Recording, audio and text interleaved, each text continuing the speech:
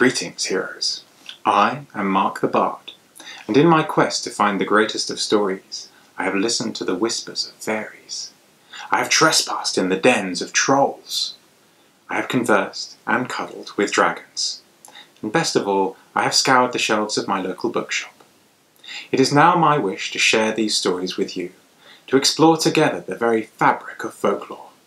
So join with me in my quest, gather round, and remember, though not everything a fairy tells you is true, you would always be wise to listen.